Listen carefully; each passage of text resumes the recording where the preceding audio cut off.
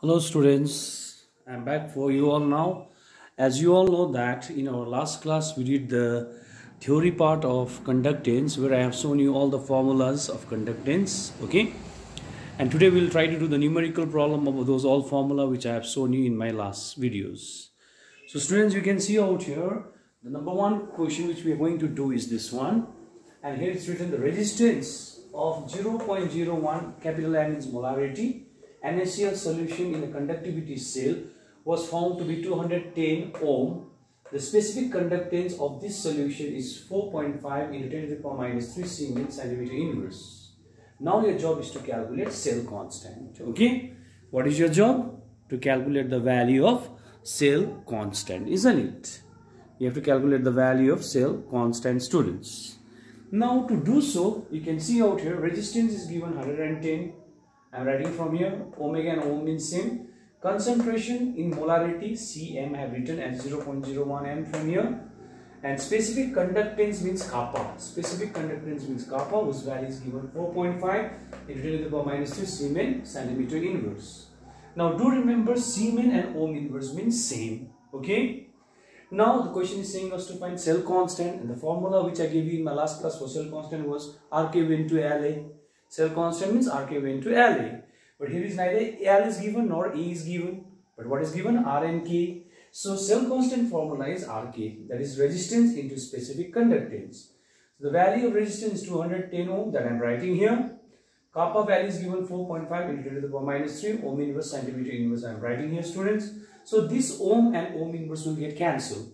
So if ohm and ohm inverse will get cancelled, what will remain? These numbers will remain. If you multiply and divide, it will come 0.945 and the unit left is what? Centimeter inverse. So this is how we find the value of cell constant from the value of R and K.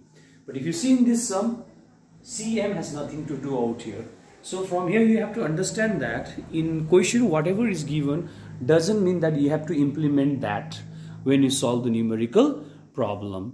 Though concentration in molarity was given, but there was no room to put out there. So I'm not going to put the value of Cm. Okay. Now let us go to the number 2 sum. Resistance of 0.01 N means normality of NaCl solution is given 200 omega means ohm at 25 degrees Celsius. Cell constant of the conductivity cell is given unity. Unity means how much? 1.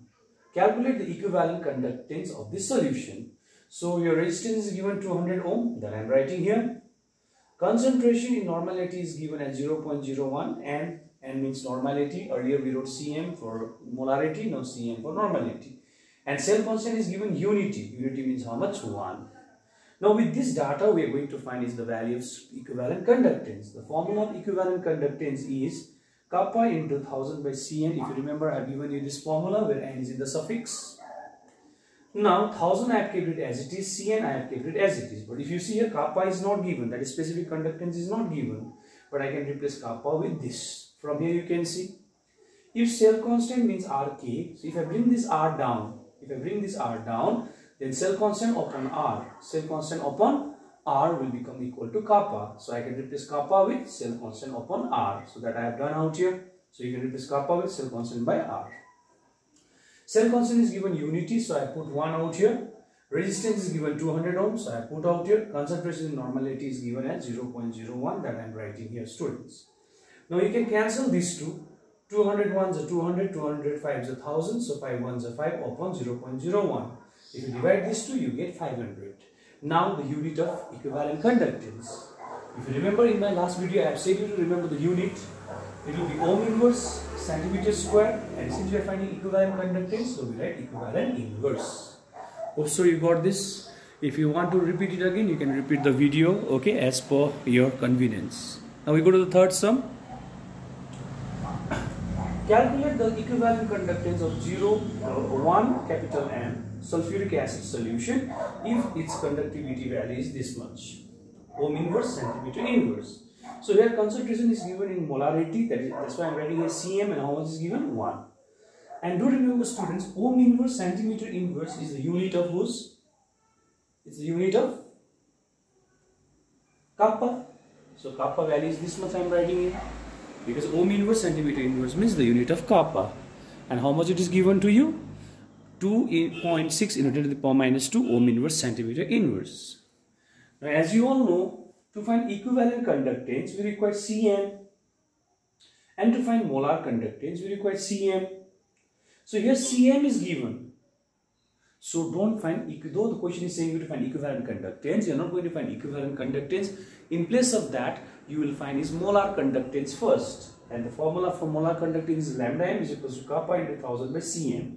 Why I'm using this formula? Because Cm is given. Okay, if Cn was given, I could have used this formula directly if Cn was given in this sum. Since Cm is given, so I am finding lambda m first. If Cm is given, what to find first? Lambda m. Now let's see how to find it. Kappa is given 2.6 into 10 to the power minus 2. 1000 is 1000 and Cm is given 1.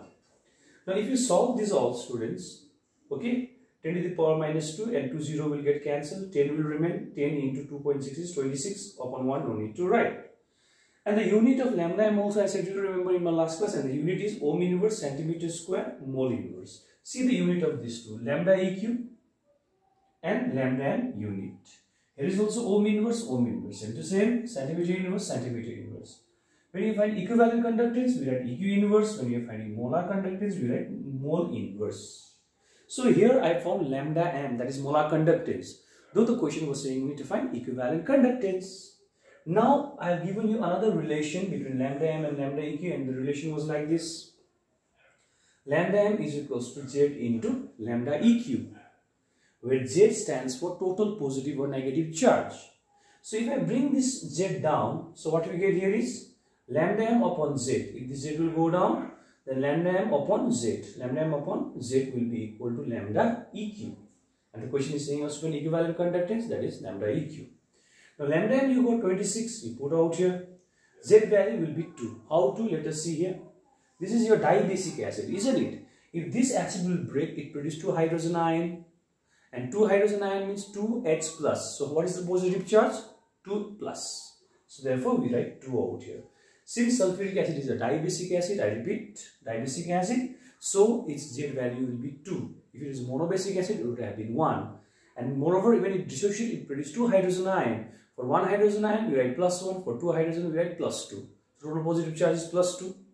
Plus 2 means we simply write here 2. And when you divide these two, you get 13.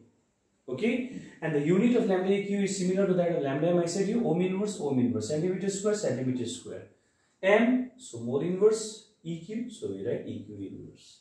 So I hope you all understood these three sums. If not, you can repeat the video or any other doubt you can always WhatsApp me students. So now you can take the screenshot of this and after you zoom you can copy the notes. You can make the notes back home and with this concept you can try some other sums similar to this. Okay. Thank you very much students.